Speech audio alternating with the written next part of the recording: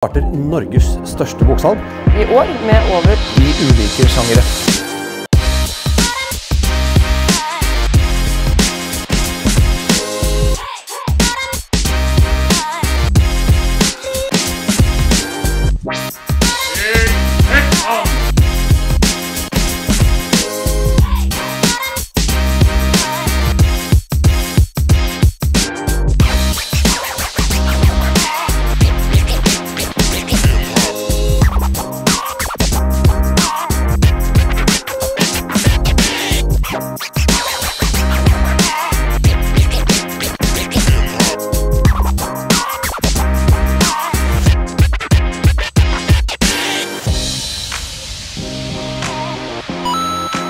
Vi bestemte oss for at vi ville ha en kvinnekveld, og lot Jummeltelegrafen gå.